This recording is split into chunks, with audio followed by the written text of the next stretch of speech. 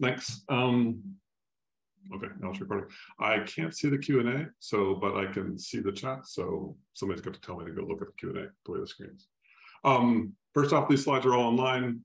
They'll be given to you as well. Um, you can see them. It's based on a talk I gave a few months ago at the Kernel Recipes conference in Paris. It's a really good kernel conference. Um, small bunch of developers, highly recommended. All the all the talks and slides are online, and um, I'll go from there. This is trust in the Linux kernel. Um, I'm built on the previous talk. Um, this is going to be a little bit more specific about how our development model works, how we create trust, and how we do testing. Really, this is trust is about testing.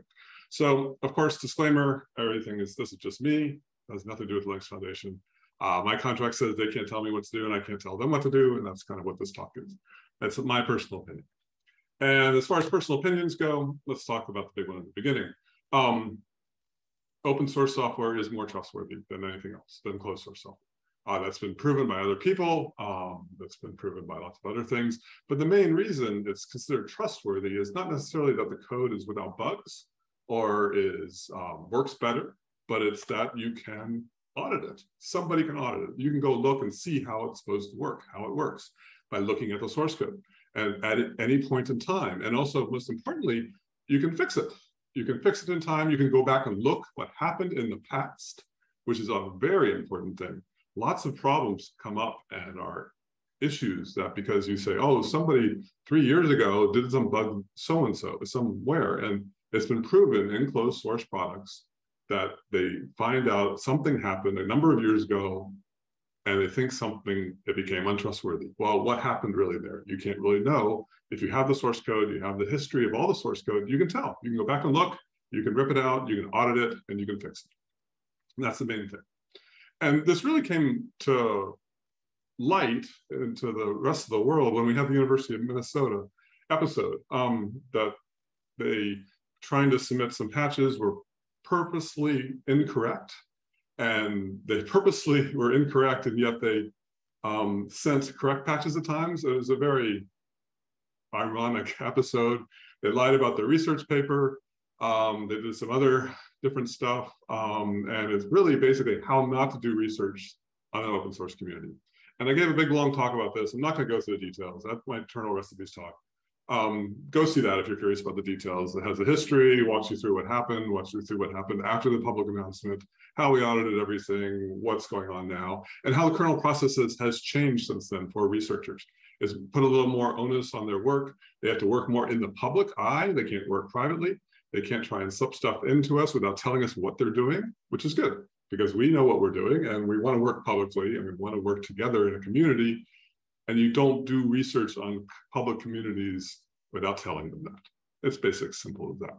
Anyway, that's a link to the talk and the slides. Go check that out if you're curious. But the main, main reason, again, is the whole episode proved that you can go back in time and you can audit code based on new information. All of a sudden, we were feeling that patches or changes submitted by a certain group of people were now suspect right? Whether that's true or not, we weren't there to judge, but we can now go back and audit to see whether it was true or not, right?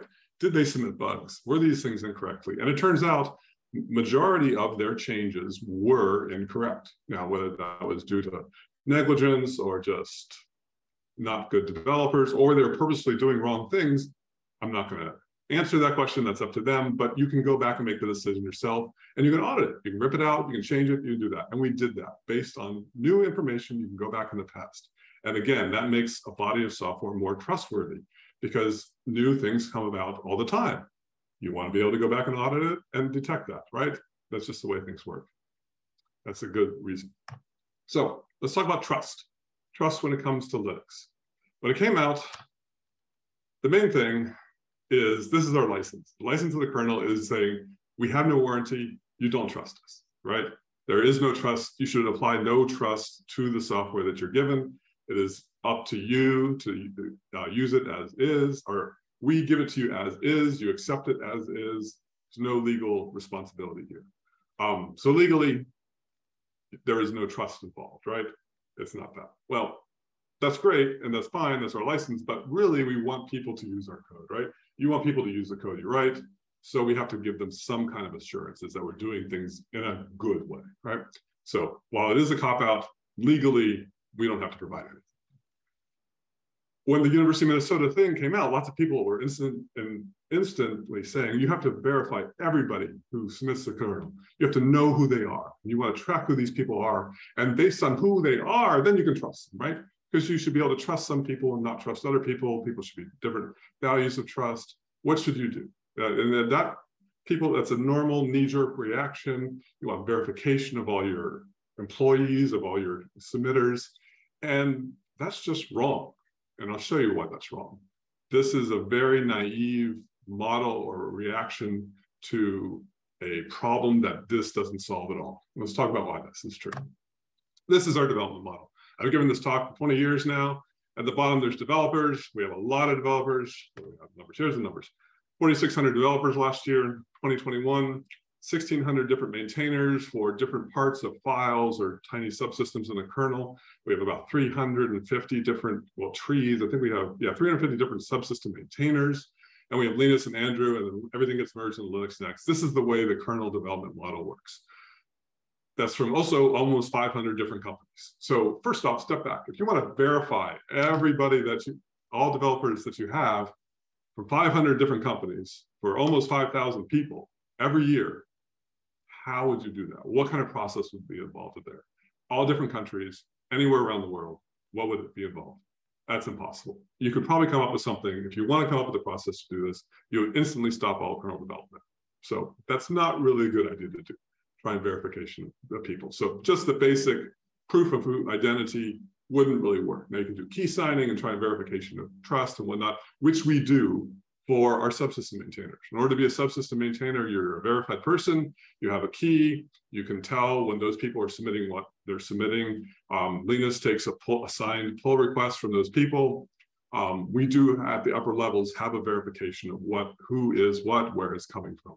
So we do have that, but for the, the 4,000, 5,000 people, it's not required. It's not ever a responsibility to do that. So here's our statistics. i yes. Uh, there's somebody has a hand up. Um, okay. Badal, uh, would you like to unmute yourself and ask the question if you have a question? Looks like we have few hands up. I don't know if they have questions or they're sure. accidental hand raising. no, ma'am. Thank you. We continue. okay. Thank you. Okay. Okay, uh, Greg, sorry about that. That's fine. It might be it's easier to type it in the chat or yes. in the question and answer. That, that way we know it's a real question. Right. Cool.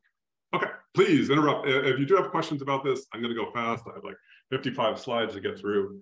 Um, please interrupt me and talk about this. I'd rather discuss it. It's a much more easier. It's hard to do this webinar, but questions are good. Cool. Okay, no questions. Um, okay, let's move on. So this was our, developers last year. Um, we had 79,000 commits. Um, I live in Europe, so dear decimals are commas, sorry. I think I said a few different places in this talk. Um, that was a lot of commits. That was a lot of different commits. And um, a lot of the way we do commits are we mark that this fixes a certain other commit, right? We want to show some identity or some um, this was a bug fix and here's what we fixed over there in the past. So we have a way of tracking what we fixed when. So 13,000 of those commits were marked as they fixed something previous. So 17% of all our changes that we accept into the kernel are fixes, which is good because I mean, the rest are new features or just other IDs or other things like that. But that's so that's about a normal for fixes for a project. But this is after they've hit our trees. This is after they've been merged into a maintainer's tree, whatnot. So they've gone through our testing. So there's a lot, a lot of stuff that happens way before that these ever hit here. So we do, and I'll talk about how our process works, weed out a lot of stuff way before it gets to this point in time. So this is seemingly high, but it's also a good representation of testing. The big problem with the general purpose operating system testing it is it has to work for everybody in all different situations. So we can test only under certain limited situations for my machine, your machine, your device, your product, um, the cow milking machine, the satellite. You can test under those situations, but then you fixes come up for that specific scenario, you get them merged back in. That's the way. So testing for your specific use case is key. We can only do so much on our own. Um, this is found, okay, again, after they hit the subsystem tree, but 26% of those 17% were actually issues before Linus did a real release. So we do, the way we do releases is RC1, release candidate one. Linus takes all these merges from all these subsystem maintainers for the past um, three months worth of work in two weeks. And then it's from then bug fixes only for the next five to six to seven weeks. So a lot of times we're fixing things that went into RC1, so that never actually got into a real product. So our testing processes are catching these. We're seeing build um, regressions in certain situations. We're doing other types of work. And so the number of real fixes for previous kernels is smaller than 17%. You can do the numbers and figure out the math there. That's what we're running at. Whether this is good or bad, uh, nobody's ever really tracked this stuff before. I see the numbers based on what people assume for commercial development, and this is way, way good, much better than that. So that's all I can go by. Um, also, in 2021, 12% of all commits were for problems in older releases, not just the current release. Again, that's the way these things work. So you go back in time, we can look back in time all the way as far as our history goes. So this has always been there. It's not Jon Corbet on the Linux Weekly News. Um, reports shows fixes and where they come from over time. It's a nice little graph. They're really large from the current kernel and then back down and slower. And there's a tail off and there's a bump at the very end that where fixes have been there for all, basically at the beginning of Git history, which is 2.6.32, I think. No, 16. Anyway, um, it's old. It's really old. That's the way those things work. Um, yes, thanks for the link. That's a good link. Um, so let's talk about who did the work. Everybody likes to see this. I don't think we did a report this past year. These are the people that did the work. These are the people that commit the changes. Um, I say it's necessary. This is quantity, not quality. That being said, there's a lot of good quality in here. Um, and I'll call out some people like Lee Jones and um, Geert and um, oh, Colin, all do bug fixes. They're doing regression, they're doing like cleanups, code fixes um, based on reports, based on automatic testing tools, um, janitorial tasks, they're fixing up warnings, they're fixing up build warnings, they're getting Arnd, fixing up build warnings for new compiler versions. This is all janitorial good development work to keep a code base solid and work and working well. And then those fixes get propagated back to older kernels. So we can build older kernels with new compiler versions. That's a big thing because kernel versions live longer than compiler versions do sometimes. And we keep newer kernels working with old compilers as well. Um, but so a number of our top developers are actually doing bug fixes and bug fixes for tiny things, bug fixes for good stuff. And this is basically who did the work last year. So let's see who's doing the fixes. Some people mark things with fixes, some people don't. Dan, great work. He has a bunch of static analysis tools, marks things with fixes and does that. Arnd, again, a lot of good work. Colin, all these other people did a lot of fixes. These people fixed a lot of stuff. These were commits that were merged for that the percentages, the overall percentages of all the commits in the kernel for that year. So if you go back and look, so Christoph, the number one contributor to the kernel, only did 1.2% of all the contributions. So it's a big curve, the way things work. It's a very healthy curve. We have a very vibrant and healthy community. Uh, we're very, very lucky as far as open source communities go. Our community is huge. Um, we're very happy, keeps growing. We're very, very pleased. It's working well. This is a good sign of a solid good community. So again, top fixers. So then I went back and said, okay, who are these people fixing bugs for, right? And um, no, that's French. Sorry. Okay, there's English. Um, I don't want to call these people out. Everybody writes bugs. Um, but I will say that a number of the people in the top 10 contributors that fixed or had things fixed are our core developers. And that only makes sense if you think about it. The number of people who, the more code you write, the more bugs you write. It's a percentage of the quantity of what you do. So if we were to try and prevent our people who write the most bugs from contributing to the kernel, we would, we would stop contributions from our most prolific and most trusted developers. And again, the idea of you need to know who is your developers we know who the developers are. You can look. These statistics are there for everybody. Who writes the most bugs? You can look. Our most prolific developers. I write a lot of bugs because I've written a lot of code. It's a percentage wise, right? Am I a bad developer? No. Am I here to fix the bugs I'm reporting? Yes. And that's the key. That's a trusted developer, somebody who's going to be there to fix this. And I'll talk about this a little bit more. But again, the idea that you should try and keep people who have a history of writing bugs out is not necessarily a good idea. Now you can look percentages, you can argue percentages and whatnot, but that just does not work. Okay, we're all human, we all make mistakes. I make mistakes. I've written a lot of fun security bugs. I fixed a lot of security bugs. Maybe I'm hopefully one more than the other. Who knows? Again, you can't keep people out that way. So again, the most prolific developers for any project, closed, open, anything, will write the most bugs. People forget this. That's just the way it works. It's kind of fun. Um, so to think that you can find out who is trusted and who isn't, your most trusted people are writing the most bugs. So, so much for that model. So what do we do? The idea to solve this is to make it easy to find them and to fix them. That's the goal. Because everybody's going to make mistakes. Everybody's going to find problems. You want to make, I want you to find my bugs. I want our infrastructure to find the bugs I write. And I want the infrastructure to find the bugs you write. And if we make that easy to find these bugs and fix these bugs simply, then that prevents malicious or unintentionally malicious, you can't tell, determine between the two, problems from getting in. And it's as simple as that. It makes the project healthier and work better for everybody if you make bugs easier to find and fix. So let's talk about life cycle of a kernel change. Uh, first, is there any other questions on this? No more questions, Greg. There were a few other questions I, I answered. Um, okay, cool, thanks.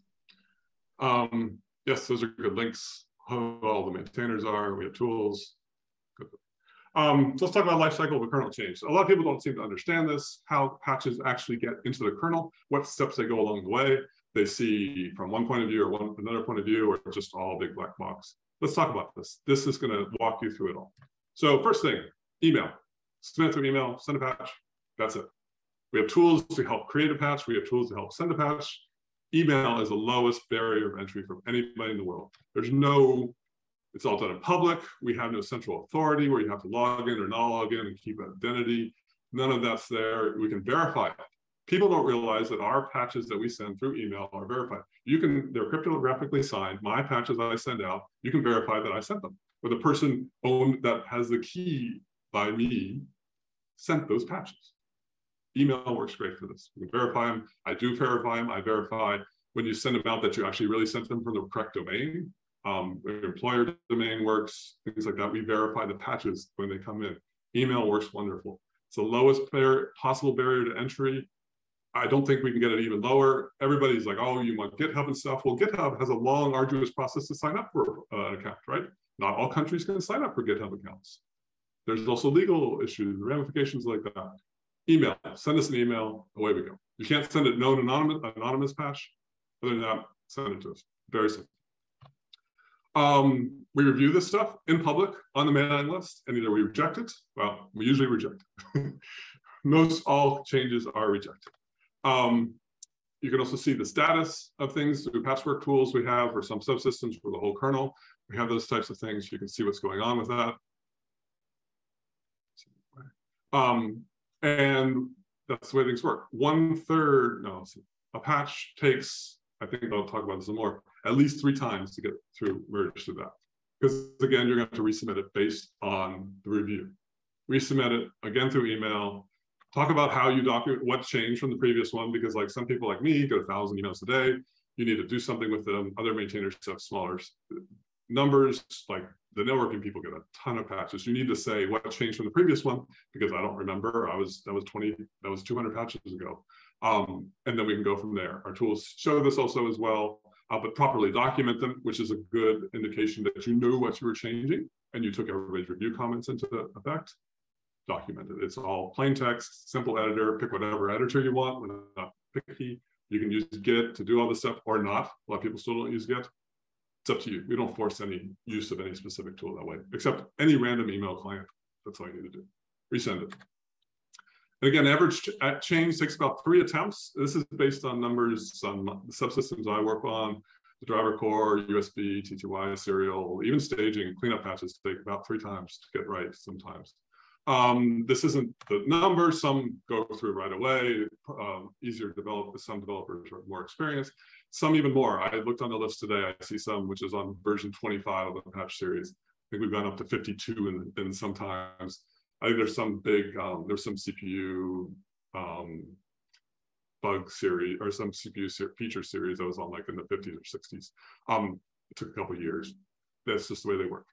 Um, it's nothing out of the ordinary to keep it ongoing, and it just that just happens. Review happens as it goes. You want us to reject patches that aren't correct. So take the review process as it is, keep on moving forward. Every, and then this is the thing that people don't realize, every time you email it, bots run on this thing. We have testing that runs on the system. And if those emails, uh, if those changes or those bots find problems, they'll just automatically reject it. I mean, me as a maintainer, I love seeing messages like this. This is an example message that just came across um, from the kernel test robot that said, hey, Johan, um, this kind of caused some problems. There it is. As a maintainer, I can go, okay, great, there's a problem. I don't have to worry about this review. It needs to be fixed. He'll take care of it. It will go on from there. Um, sometimes these are wrong. There's all the information in there. Um, but your tests, your patches are run on these bots and they automatically run. So you'll start seeing, sometimes there's a delay, a day or two, or sometimes, um, sometimes reviewers get to them faster, point things out before the bot can, but everything you send to the public gets tested instant on its own automatically. And people don't realize that we are testing. And I'll show you what we test these things for. It's a lot. And this is the kernel zero day bot. Intel runs this thing. Um, they say it provides a one hour response time. That comes and goes depending on how the model is working, how the review process is going, and what their backend is doing at the moment. Every patch is tested all, the, all goes along. Tests covers the branches of the developer tree. When I merge stuff into my tree, it also tests it. I'll talk about that as well.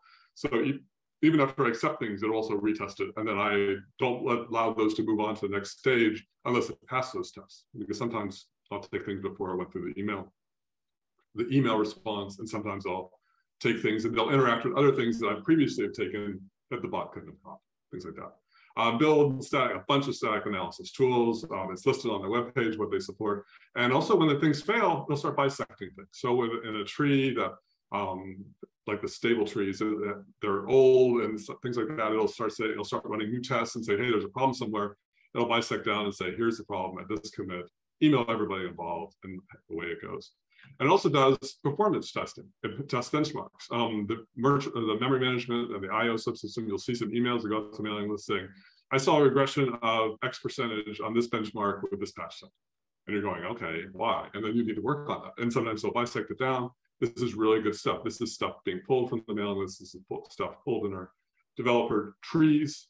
It works. Really, really good testing. This weeds out probably 90% of the most obvious problems as it is look on the mail list, you'll see this bot just turning away and, responding to things. So wonderful thing, great tool. Intel does a great job on this thing. We're very, very happy with it. They keep adding more tests. You can add tests to it. You can say, please sign up my development tree to it. So you know, have it run on your tree before you send it off to the public. It'll do that for you. Does a great thing. You can add lots of stuff. They run a lot of tests too. Doesn't say how many. So on the bottom here, all the developers, the zero day bot runs on everything that's sent publicly. Again, that's why we send work publicly. You can see who gets things sent or who sends what in public, and then the tests happen in public. That's how we do good stuff. Then let's keep on going. Say me as a maintainer, I accept it. Looks good. I'll add it to my tree. Then the real testing starts. Zero day does a good, a good amount of testing, but there's a bunch of tools that we have that starts kicking in in the background that really starts doing really good work. Um, the big one that runs is kernel CI and zero day. Zero day again runs on our developer trees, all these on the blue line, all these subsystem maintainer trees. We have about 350 of them. Um, they start churning away on these stuff when, they, when we push them out. Um, emails us if things are good or bad. Kernel CI also runs on these trees and starts reporting things and starts really finding problems. And kernel CI is great. Kernel CI is um, now a Linux Foundation project started by um, embedded number of embedded developers. Um, and it's community led. It's um, run by a whole bunch of different companies are contributing as well. You can contribute. Um, all the tests are open, all the infrastructure is open, and um, it allows all of us to test in one in a way just like we do development, all in the open, all together collaboratively, contributing to a common set of um, end goals, right? So the kernel um, community, me as a maintainer, I don't want to have to go test or look at 5, 10, 15 different trees or different locations on the web to find out what happened, if, if these trees are good or not. I don't want you emailing me five, six different reports from different subsystems or different tools to see if it worked or not. Just give me one. Kernel CI is the conglomeration of hopefully in the end, all the really good testing and all the really good way to do this stuff. Um, right now, we're tracking 62 different branches of different kernel development trees. It's doing what 13,000 different build and boot tests on, on real machines, all real machines all around the world. There's a whole bunch of architectures doing it. Um, Microsoft and Google um, offer up a bunch of build uh, in the cloud. So we do the builds up there in the cloud, send them down to the devices, test, build, boot, run some tests. They're added, trying to add more tests to, after you boot. Uh, and then it reports back to the systems and then it conglomerates them all and makes a little pretty report. You can click on them online. You can see the current dashboard there, um, see what the current state of everything is. Um, but the neat thing is it's all real devices. Some are embedded or some are emulated, but these are real devices out there in the real world they're being tested, your devices, you can add a lab to it. People like all of a sudden we got a whole bunch more devices showed up and we're like, what happened? And it was a lab from a company in, I think Europe just added, okay, now we're going to start pushing out our tests publicly. You can hook up your stuff to it. It works really good. Very happy to see that. This is really good. If you have a device that runs Linux and you want to make sure all the future kernels run on it, add it to this. You know, you can add your own device to the system keep it going, and then that makes you now get reports based on if the latest kernel and the latest development trees are having problems or not. It's a really, really good thing. You don't want it to break. We don't want it to break your system. Now we can have an early warning system. This is what happens. Right. These are really good uh, stuff. Greg, if I may, you can yes. also go in and submit your own tests. They will look through uh, through the kernel CI GitHub process. They will add those tests once they review and add them. So that is also possible with the kernel CI. And so that is true with uh, ZeroBot as well. You can always request more tests to be added. Uh, yes. The people that maintain those rings will uh, look through all the tests and add them for you. So you can add devices and tests for yes, those. Yes, that's a really good point. Yeah, those types of stuff. And as she was the maintainer of the testing subsystem, as more tests are accepted by her into the kernel itself, those automatically gets run by these tests, these systems which is really good because then sometimes it finds problems with older kernels. We have newer tests added, we find problems with older kernels, we fix them, we move on. Um, so get your tests to the kernel tree itself right. or a number of. Um, there's other file systems tester in a different package, you know, other things, but the number of networking, number of BPF is a large, we have a huge number of tests now, right? Um, yeah, so get your tests into the kernel tree, very good. Um, cool, yeah. And also the nice thing about the kernel CI is doing it is they're created a common way to report tests or report things that happened. So, because when you have tests coming in from different testing systems, you want to be able to conglomerate them in one spot. They've created the framework. Um, Google and Red Hat, I think the syzbot tests now contribute to this. Red Hat's been doing some CI testing on the upstream kernels, which is good, and that feeds into there. And of course, all the kernel CI stuff feeds into there. So again, it's one unified location that we can see all the results of all the other stuff. Um, there's some more effort going on in here to get other groups involved and to participate. I think they're trying to feed the zero day stuff into there. I think that might be done soon. Um, and um, there's a few other external testing companies and stuff. And I'll talk some more about how stable kernels are tested. There's a lot of other stuff happening there. Um, and they're going to eventually feed into the kernel CI stuff. Ideally, I just get one report, kernel CI, all any maintainer gets it. Here's all the problems from all the different all the different testing systems and we go from there because that's the goal here. We want to make it all unified. So that's a lot of tests, 13,000 tests run on your changes all the time, every day. And then when they get to Linus or when they get to Andrew Morton and Linux Next. So Linux Next is, happens every day. It merges all our different subsystems together. That's what's going to go to Linus on this next release, not the current one. And so kernel zero day runs on that. Kernel CI runs on that. Guenter and LKFT run on that as well. LKFT. Um, so this all these changes merge together, and so it's a it's a common area that we can all agree is going to be what is going to happen next. It's a good place to test, um, independent of the subsystems as well. If you're a testing system, it's easier to test that. And LKFT is um, from Linaro, uh, Linux kernel functional testing. It's I wish it was more with kernel CI. Currently, it's independent. They're working to try, try and bring it back together. But right now, Linaro is sponsoring this, and the member companies Linaro are sponsoring this, so you can't really look a gift horse in the mouth. Um, they're doing a lot of really good testing for me in the stable releases. Uh, Linus's RC releases now will run through this. I think um, Linux Next is also on a daily basis is run on this stuff. Um, there's a tool called TuxSuite. Um, you can click on that and see it. It's a Perl or it's a Python testing framework that you can submit jobs to the system and get it back. It's all open source. Uh, I think you can even run it on your own backend if you really want. The cool thing is there's a lot of testing in there and it does a lot of build and a lot of very, a lot of permutations of all this stuff automatically. 125,000 tests are being run currently on these things. Um, quantity isn't everything, quality matters. There's a lot of stuff in there that's happening. It's doing build and boot and test functional testing after the boot happens. Um, it's not doing all architectures. It's doing a subset of architectures and it's doing a subset of configs and a subset of compilers. So it does test a few different compilers, like all the Clang, Clang developers are using that to make sure things keep on working well, and that's doing really good stuff for them. Um, it's not everything. It's not as much as like some of the other testing systems, but it's something, and we're happy about that. And then Guenter's, Guenter's a, a subsystem maintainer of a driver subsystem, the kernel. He's been doing this on his own for quite a while. Um, and he has his own test plot build system that is public. You can um, download it. Um, he made it available for everybody else. I know some uh, the other people are running it locally. Um, he actually builds all architectures that the kernel supports, which is awesome. And that's really good. Um, yeah, I think he's the only one that does that. Um, and he boots them on all architectures that the kernel supports using QEMU, not on native machines, but emulated. And that actually finds a lot of problems that we wouldn't be able to find otherwise. A lot of build problems on odd architectures, a lot of build problems on some really funky old configurations, and boot time on configuration and systems that we don't have elsewhere. Um, even though it's emulated, it's a really good test. Um, he's found more problems in like the old ARM32 code than anybody else. Um, he, he, beats the PowerPC people uh, testing when they have their own tests on the, the real systems. Um, it's invaluable for all the stable testing, but those are running on Linus's tree, on um, Linux Next on a daily basis, and all the release candidates that come out for the stable releases. Um, really, really good testing. I couldn't do it without it. Um, he runs it at a certain time at night due to cheaper power where he lives in California. Um, hopefully he gets some somebody to sponsor that someday, but it's a really good system.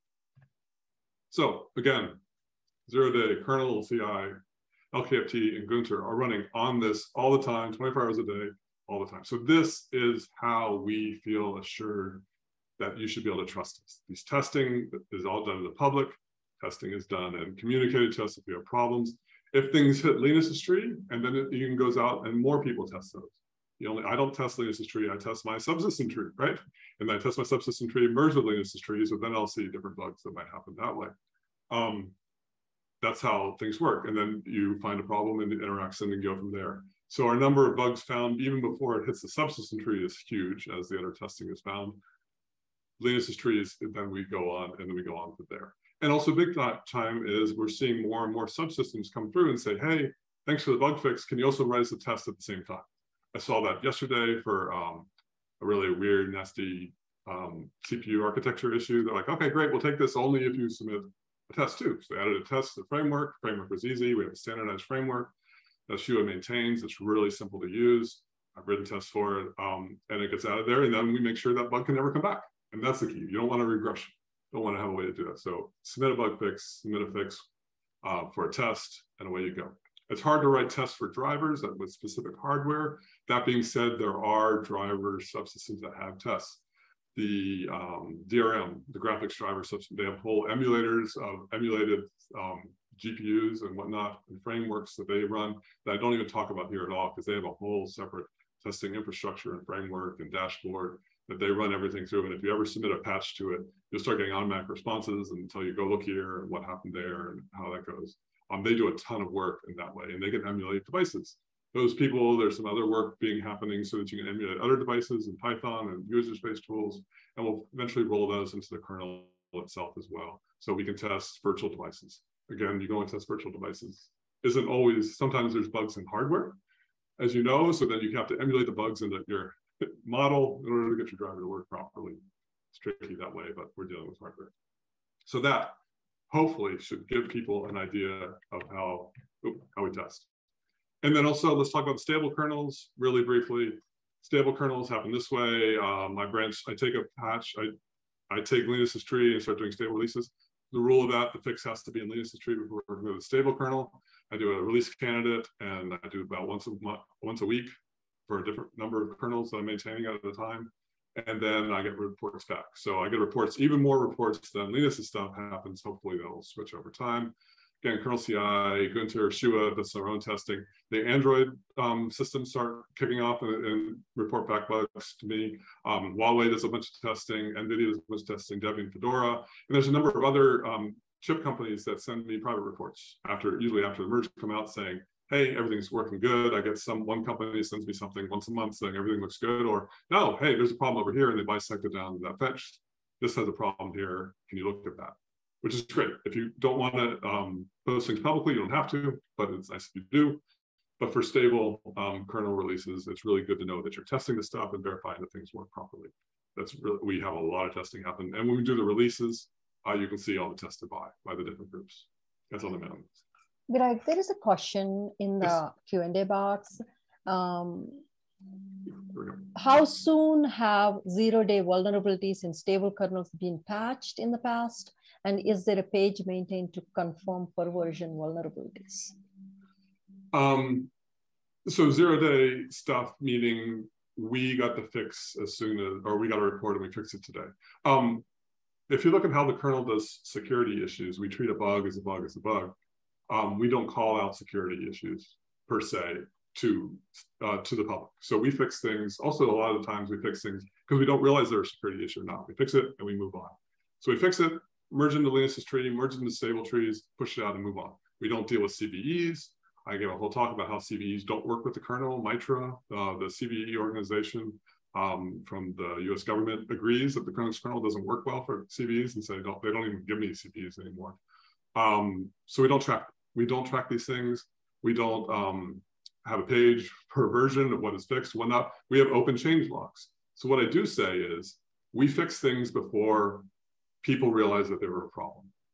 The Android, the Google team, a number of years ago, did a, a research and they said every single one of the reported vulnerabilities that they found were fixed in the stable kernel before they were made public. And that's what's happening. So we fix things every week before we even realize they're a problem, either on purpose or because we can't tell you, get them update and roll out. So always take the latest stable kernels. That's my mantra. We're fixing things in there all the time. If you're not using the latest stable kernel, um, you have a vulnerable system.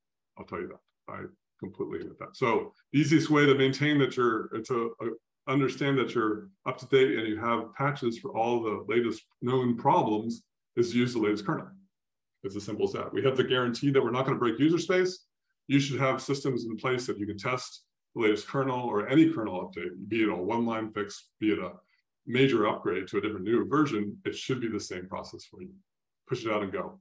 Um, Android has the latest upstream LTS kernel available for all devices in the world, um, usually within a day or two. Um, you should be pulling from there.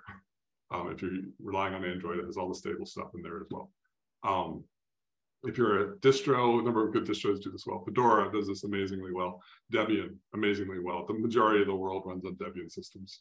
Um, everybody doesn't seem to realize that, but I think it's huge, huge quantity is Debian systems. Uh, Fedora, Arch, OpenSUSE does it. Um, SUSE Enterprise backports bits and pieces. Uh, RHEL doesn't backport anything at all. Um, that's me arguing with RHEL people. You talk, you talk to them and have them justify their, their reason why they don't take our fix. But um, yes, so just take the latest stable kernel, and that's it. Then you're guaranteed of all the fixes that we know about. Thank you, Greg. Sorry, that was a rant. I've given whole talks on this thing before. That's good information. Cool. Um, okay, so trust in us and our development process is we trust you, send us a patch, but we verify that the change works properly. It's the only thing we can do. Trust with verify and trust and test. And that's what you, I want my tests for my patches that I submit to be tested and proven that other people can trust. Not only that who sent it, which who sent it doesn't really matter as we've come out to see, um, but trust that it tested and got it right. But it also trusts who sent it in that the real trust model in the kernel, and I've always alluded to this in different talks, is that we're only, I trust, I will take changes from a number of people. Okay, it's from these people, great, wonderful. I trust that not necessarily that they got it right, because we're all get things wrong, but they'll be there to fix it when they get it wrong, because we all get it wrong. We're human, we're fallible, we all make mistakes, we all don't know how things work at times, we all make just foolish mistakes.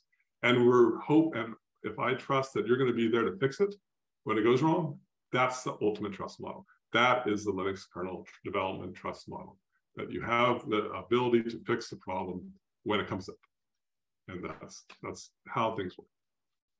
And that's it. That was fast. Wow, I burned through this 45 minutes. Um, cool. Questions, comments, heckles.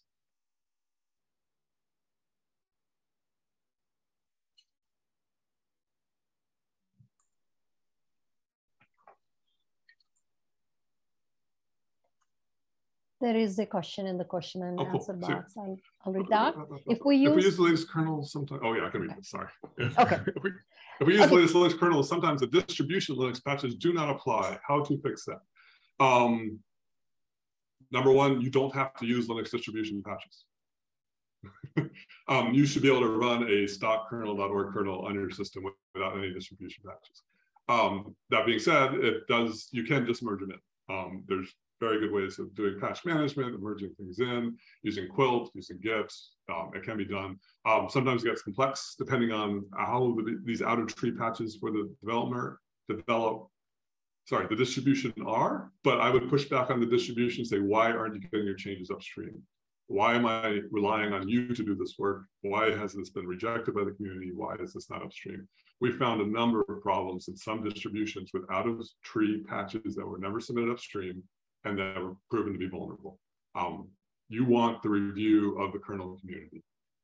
So get them upstream. So push back on your distribution. If your distribution requires that or says that, switch distributions. There's nobody forcing you to any use any distribution. You're never forced to use anything like that. There's lots of other good distributions out there. I'll call call out Debian.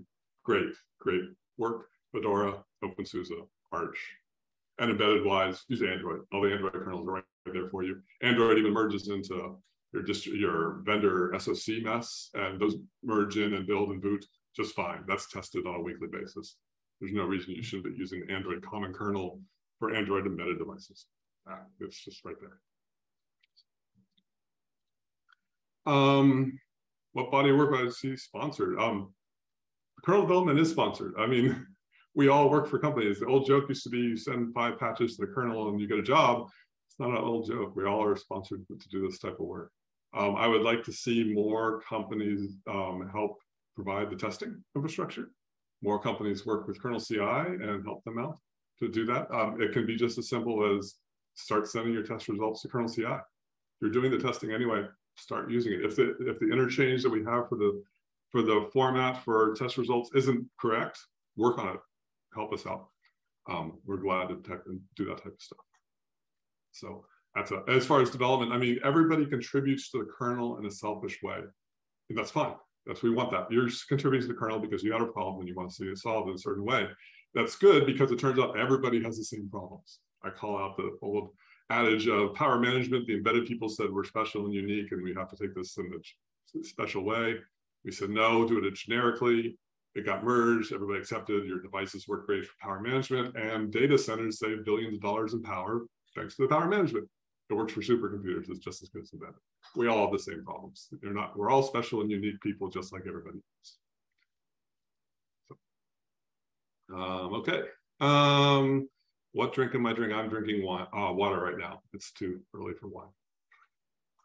I do live in Europe. Um, oh, academics. So academic, I've had a lot of work in this recently. One reason I moved to Europe was because of academics. I worked with a university in Paris. Um, there's a lot of applied research development happening out there, and a lot of it gets merged into the kernel. A lot of groups, a lot of people do understand this. Julia Lawall has fixed more security bugs than anybody in the world in the kernel, thanks to the work she did in academia. She's a professor, and the tool that she created, Coccinelle, that we use to do static analysis and fix those bugs. Um, that is applied research very good stuff in the kernel, works really well. The real-time operating system changes came from academia. It was an interaction of academia and industry and kernel developers knowing how to work on this stuff together. Tons of papers were published on it. It was all and merged into the tree. And so academic work happens really well. I live now in the Netherlands. Right up the road here is uh, the academics who found Spectre and Meltdown and found Retbleed and found other types of security stuff. They're doing hardware security analysis of CPUs and how that affects the kernel. We work with that type of work. We fix the problems up and we go on from there. Um, they do a lot of operating system research there. They do operating system research other parts of this country um, in academia. So it's really good. There's a number of universities in the US that do this as well. Other developers interact with them. Uh, so it happens a lot. Um, I'm very happy to see that. A lot of research um, is not happen that way. If somebody wants to just publish a paper and run away. I, I appreciate the research that wants to publish a paper, work with the community, get it accepted, and do that, and then um, see their ideas actually used in a, a real way. I, I, like those kind of groups, and I enjoy working with them, and I do that a lot. And it's fun talking to the students about that as well, because then they always usually get good, good jobs. so that's always fun. So it's not a quantity, it happens a lot. You have to look at the specifics.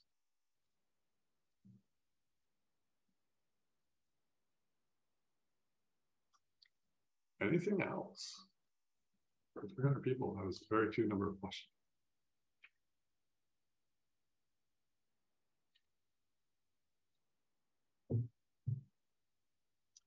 Oh, mailing list is very high volume. That's a so the um nobody reads the mailing list all the mailing lists. There's a Linux kernel mailing list, so we all send thing. It's a write only type medium. We all filter. We all read the subsystem mailing list for that we're interested in. I read a number of subsystem mailing lists, and they're easy to keep up with.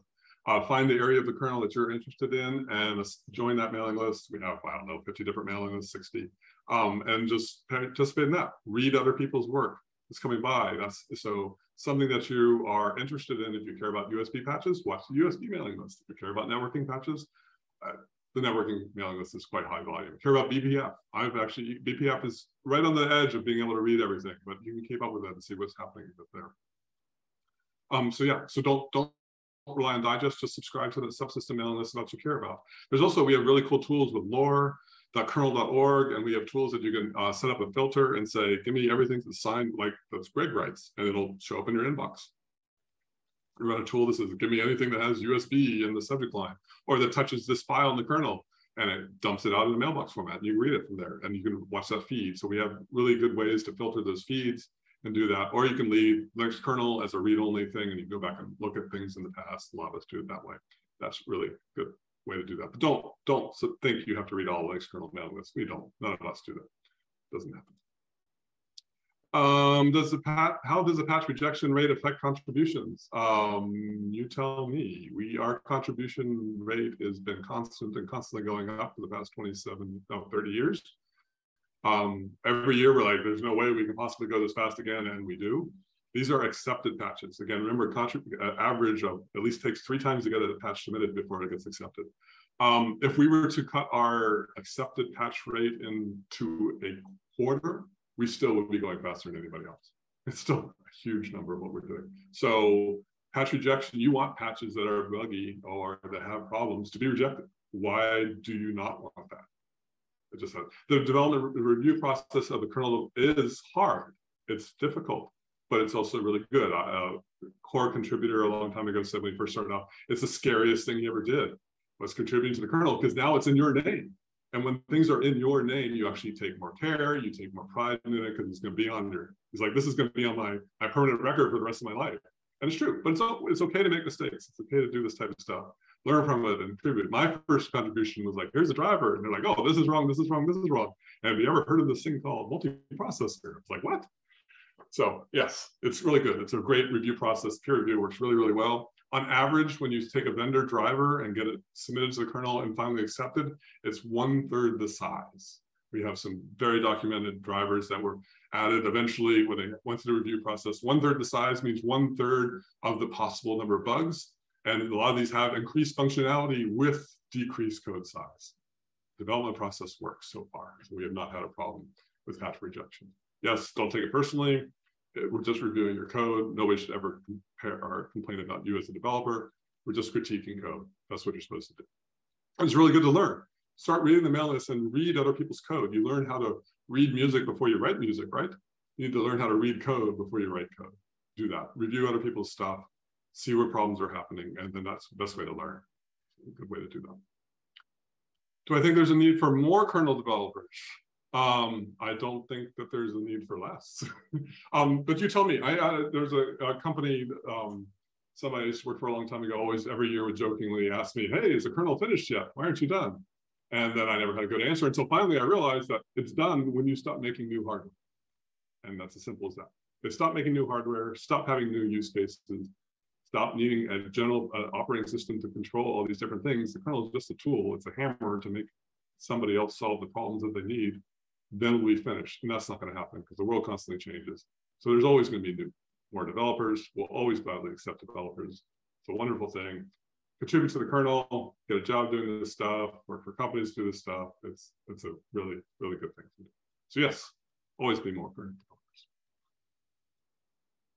um, bum, bum, bum, Coccinelle, I think um, Shuah mentioned that already. Okay, do I think a test-driven development for Linux kernel? We have test-driven development for Linux kernel. You can write your tests, submit them. We have unit tests in there. Wonderful thing. Please do it if you want to do it. I'm not forcing you to do it. You can do it today. So if you like that development model, wonderful, do it. It's a little hard for some types of things. Some types of things it's impossible. Some types of things it works really, really well. Um, a number of subsystems required. It's, it's that simple. So it depends on the area of the kernel that you're working on. Yes, that's good. Um, how many people uh, NSA later find out. Um, no known security holes have been added by anybody, but there's been lots of unknown security holes added by regular developers. Again, as I said, I've written security holes and not mean it, right? It's hard to um, know malicious intent, right? We do have not have any examples of known malicious attempt to get a hole into the kernel. So simple as that. I will document that. Um, it's as simple as that. Is there a deadline of new equipment appears? How quickly would drivers be introduced? There is no deadline. We take drivers and code for hardware that isn't public. Infamously, we ripped out code for a whole processor from Intel. And we're like, wait, wait, wait, somebody must have this hardware. We can't delete this code. And Intel said, no, that was actually never, that chip never shipped. So Intel is so far ahead of the game, they have patches reviewed, developed, reviewed, accepted, merged, released before they even had a chip that came out of uh, out of their validation area, and then they ended up not doing it. So you can have stuff merged today for stuff that isn't public yet. Fine. If you other companies rely on a public announcement before they start sending patches, that then they're constantly behind ball. Qualcomm is known for this. They submit a new, they create a new device, announce it, then they start sending patches, and three years later they're all merged. But in the meantime, they've already created a new a couple new devices are always behind the behind the wall. That's their, they want to do that. That's up to them. Intel does it better. IBM does it really well. I think they were booting Power 5 on the Linus's kernel with like four changes once, new brand new CPU architecture, because it all just worked in the validation. So how quickly the drivers, again, depends on the subsystem and depends on the hardware, but we'll take them today. We have no requirement for that. Um, yes, the US government wants to understand the most important software on earth, of course. So talk to us. We're not hidden. We're actually, we all work in public. People write research subjects on this. We documented how we do, how the kernel security team works. We got documented how the model works. We document all this type of stuff. Great. Um, provide another report. Um, I hope they talk to me because I do kinds of this work. Um, so yeah. I don't think it is not going to stop whether people are allowed to contribute or not at all, because even if you look at the last time the US government forbid certain countries or entities from contributing to um, companies or contributing or being bought by, it turns out open source is not forbidden because it's all done in public. It's not behind any contractual obligations. It's not behind any mon monetary things, whatnot. You cannot legislate around that. Um, so that's actually turns out the open source works better for everybody in the world because of that. Because that not any one random rogue country can can try and stop it that way. It just can't happen. Um, so it turns out our development model actually routes around um, governments because of that. Um, yeah, and we're not going to validate who. I mean, we know everybody knows who contributes. That's fine. Um, harsh environment, widespread or isolated situations. Um, I think a number of people in the past had a bad view of harsh environment. Um, that hopefully has been since we changed the last code of conduct, which is four years ago. We have not had any reports of that. Uh, the Code of Conduct Committee does a report every six months or so saying what's there's been any issues or not. Um, so far, there's been no issues really. Um, so I can do that. Um, I always find the harsh comments interesting. I've worked for companies where um, people throw chairs and they have meetings for teach how people argue. Um, it's a very inviting, welcoming contribute a community. We want everybody to contribute. We realize that everybody from all um, groups should contribute. It makes the whole project better. So we're very welcoming and very open and very honest to that. Nobody should ever feel um, upset about contributing. Nobody should ever be yelled at. If they are, talk to us. We have ways to handle this type of stuff. So I hope that the old idea of a harsh community is long gone. We don't have any recent issues or anything that I know of as far as how that goes. So please, I hope that's not an issue anymore. Um, anything else? Rust in the kernel, yeah, it's nice. I have my Rust books back there. Um, maybe we'll get there. The funny thing about Rust is like, oh, we'll just write a driver in Rust and that'll be easy. People don't realize that drivers actually are a consumer of more in-kernel APIs than anything else. It's the very tip of the tree. We rely on everything for a driver. Um, memory management, process communication, reference counting, driver model, all that jazz. Write a driver is you means you have to have hooks for everything. Um, the last patch that just got sent out looks really good. There's we're going to talk about it again at the Plumbers Conference in a few weeks um, and at the Kernel Summit in a few weeks. Um, I think it's a neat idea. It's a nice idea. Let's try it and see. My knowledge of Rust is very bad, um, so I need to ramp up on that if I'm going to try and review patches in that. But sure, why not try it? Um, the fun thing is, the majority of our bugs are not issues that Rust would help with. Um, it would um, help for out of tree module, out of tree drivers, but our development process and our review process and our testing process usually catch the most obvious issues that the Rust model also catches. It's not going to catch any logic issues, and because logic issues are are possible to you can write bugs in any any programming language. So the number of bugs it's going to prevent over time might be pretty low. Um, nobody's going to convert old code to this new stuff. I mean, a number of problems that we find are like really, really old drivers that nobody uses anymore, or like the Sega Dreamcast CD-ROM driver, memory leak on the init probe, on a init sequence. You know, those things are not really an issue, but those are fixed up. Yes, Rust would have caught that, but we're not going to go port that old code to Rust. And new code ever submitted would never have had that bug. So yeah, look at it. Look at the patches. Run them yourself. See if you think it looks good or not. So uh, let us know if you want to see this stuff. That's the best thing to do. Um, bum, bum, bum. How confident when there are only the two of us to backport hundreds of commits, to different versions, different code base? Is it enough to trust only the test reports? Um, why wouldn't I trust test reports? So remember, the only patches that go into the stable kernel have already been through this whole review, whole development, whole integration, whole test, whole retest, all this test process. All the only patches we take into stable are also passed through all that. So by virtue of that, it's a known good patch. I trust the reviewers and the maintainers of that subsystem to accept that patch and it be correct. Or I trust them if it is wrong, they'll fix it, which is also most important. We're always going to have bugs. So yes, I trust that first off, that is a good patch. Then we integrate it and we backport everything and away we go. We run the tests again. We actually run more tests than we run on Linus's tree to verify that everything still works. Sometimes we will find bugs that the original testing, the original bug fix in Linus's tree never found, which is great. That shows the process is working. And that's why more people are now testing Linus's tree and getting verification. Uh, but yes, I rely on tests. Why wouldn't we rely on the testing procedure? The interesting thing is we test these as a unit. We test all these patches together. We don't test them. We don't cherry pick them out. You cannot just cherry pick random patches out of the stable tree into your device and expect to have a secure and bug-free device.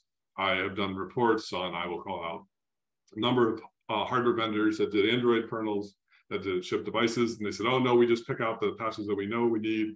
And they missed tons and tons of CVEs. They missed, the best one was they missed a bug They missed a commit in the stable tree that said, this is a bug, here's the reproducer, here's how we're fixing this. In the changelog text, their tools missed that. So just take everything. And also we test everything as a unit. So look at the larger complex bug fixes we've had with Retbleeds, Spectre meltdown. It's not just a cherry pick. It's about 20 patches. It's about 60 patches. It's about more patches the next release. It's about more patches the next release after that because we find another corner cases. I mean, Retbleed was a number of what 80, 90 patches. And then with the next few more days, we found 10 more patches. And I just saw a patch flow by today to fix another corner case of this type of stuff. Um, now we can't really test when we do have these zero day issues, and that's another problem that we're trying to work out and, and come to grips with because we can't test in public issues that are private. Um, but it shows that the process works and you can't just cherry pick. So yes, I feel good about the tests that happen. And also you should test. You should never trust a one line patch that you shouldn't run through your whole test system anyway. So the best verification and trust is if you run it under your use case and you feel that it works for you. That's the best thing to do. So test it yourself. So if I may add one thing. Um, yes, please. So sometimes the one-line fixes are the ones that could really mess things up. So you want to test those, right? Yeah, it's, it's that's very true. Yeah, you're, you're right. There's a lot of one-line fixes that are just flat out wrong. Right. Um, and the other thing is that the, the trust we put in our uh, code that we develop is that I am running 5.9 right now, uh, 19 right now, 5.19 latest. Oh, yeah. And I would have gone to 6.0 RC1 and I would as soon as it comes out. So I am actually doing this webinar on uh, the latest bits. So that's how much I trust all of my all of my uh, systems I use. They always run the latest RC. So this so, one, this is running on 5.19 as well. Exactly. Plus the USB development stack. so right.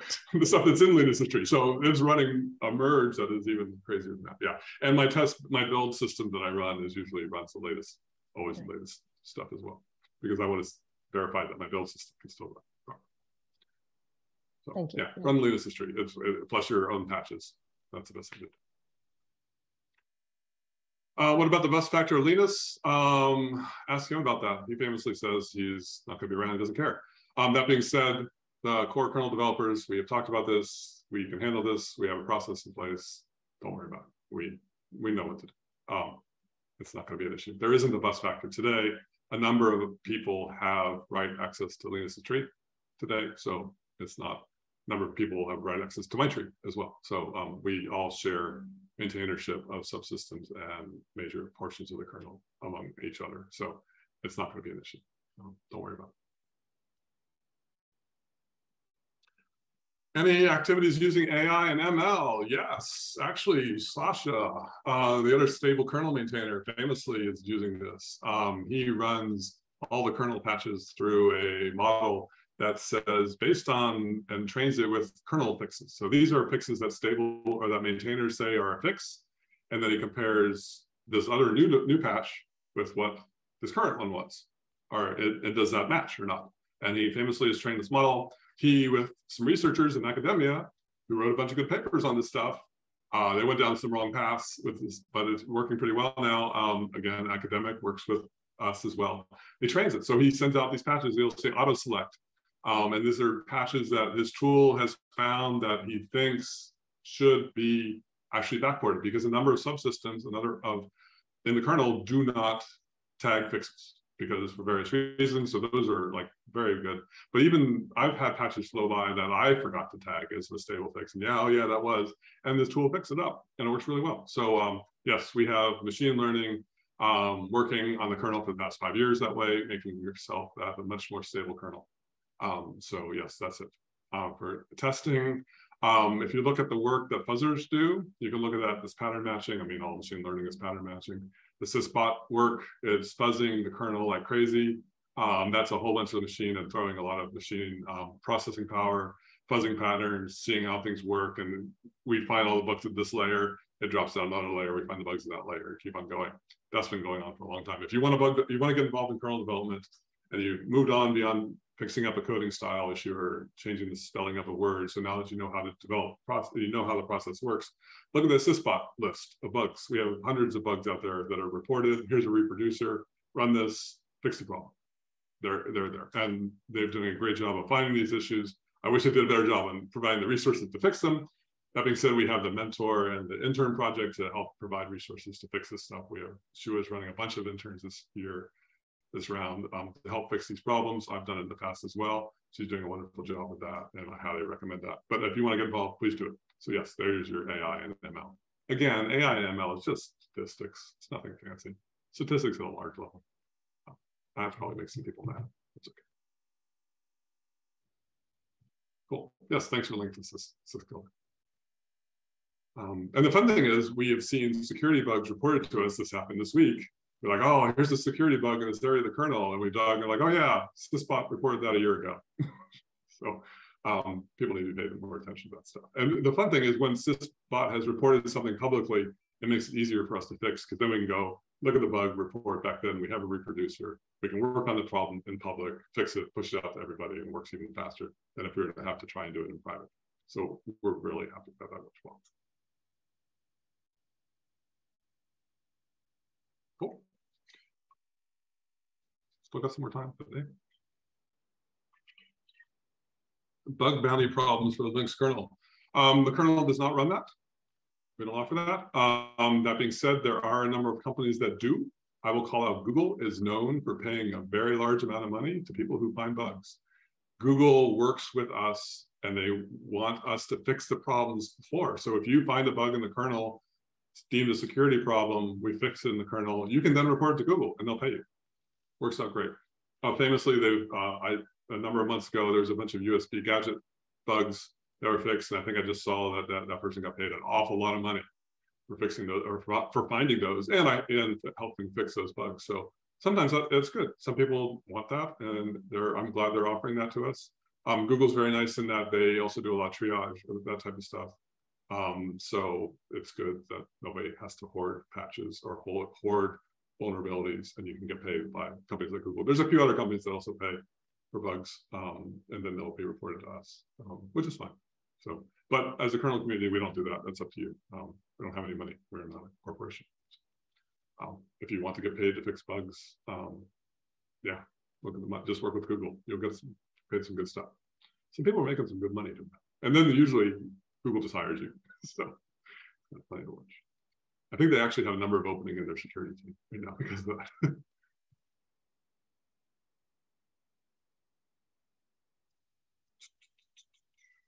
sometimes new features are back, accidentally backported to stable because it, it, depends and it changes the behavior we don't want in stable. Any ideas how subsystem maintainers can prevent that? Monitoring the stable mailing list. Um, one thing, if you don't want any patches for your subsystem backported to stable except the ones you explicitly mark for stable, let us know there's a number of subsystems that have said, we are going to take care of this. We will be the ones sending you patches. We will be the one tagging it for you. Do not run them through the auto select. Do not run them through anybody else.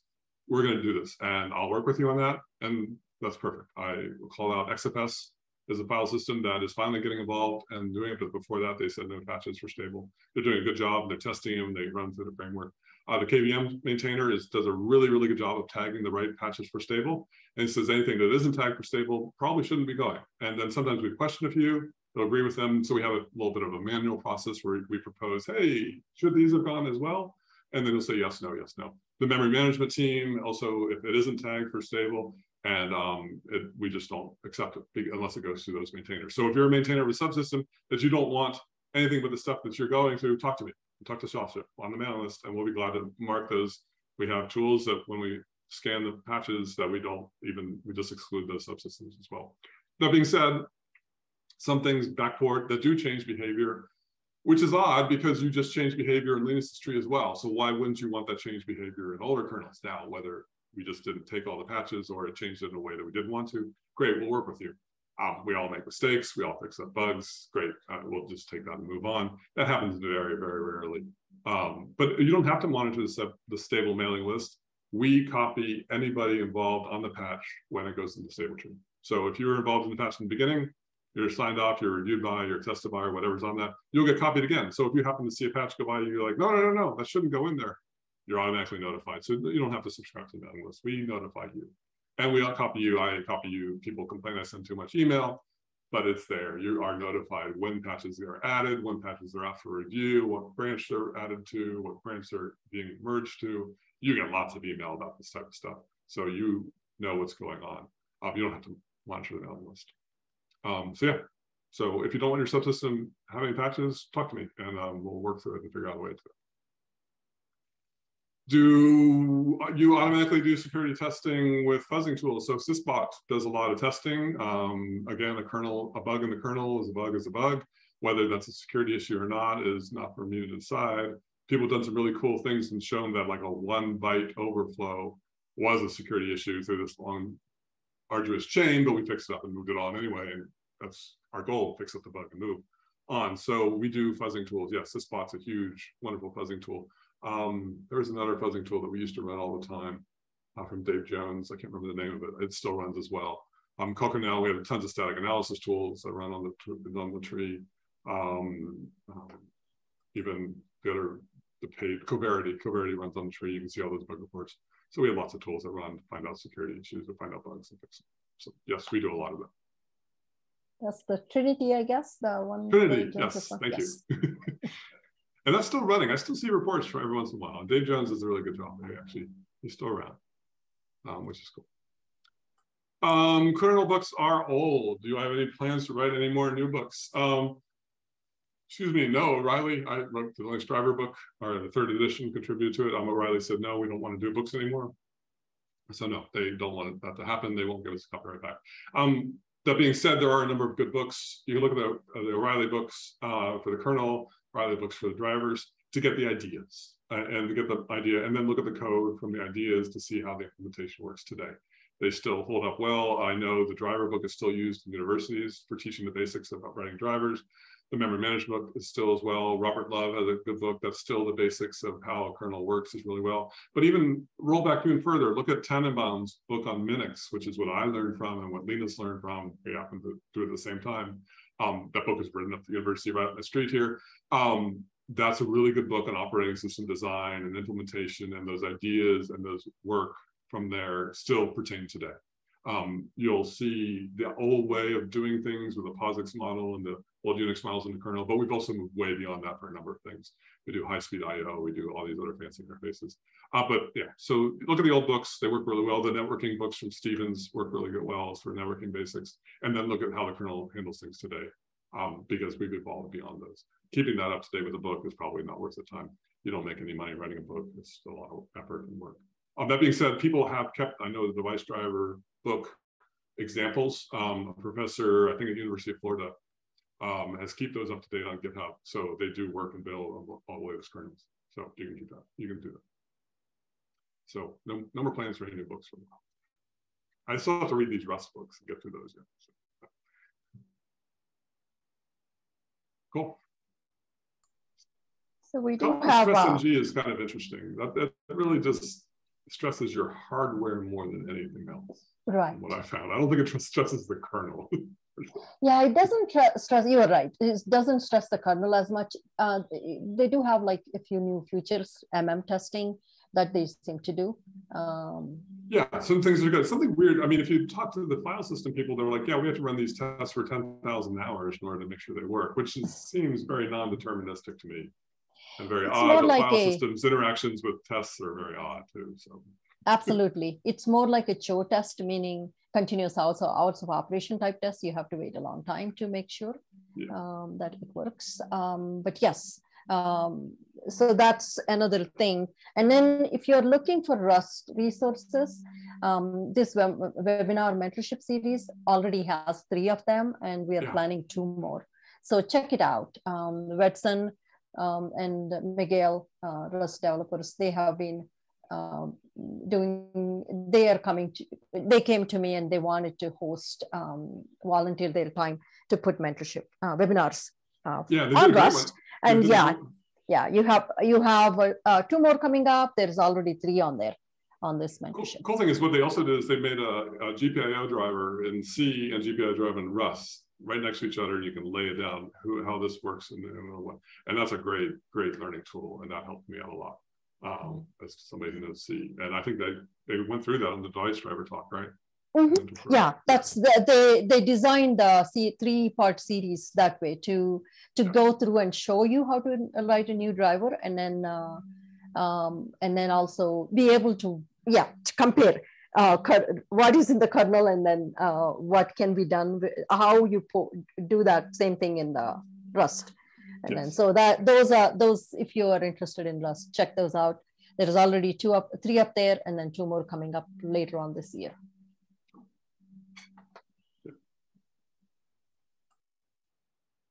Great. So no more questions. Awesome. We'll give 15 minutes back to everybody. Thank you for having me. Um, I think I need to throw it back to the Linux Foundation admin.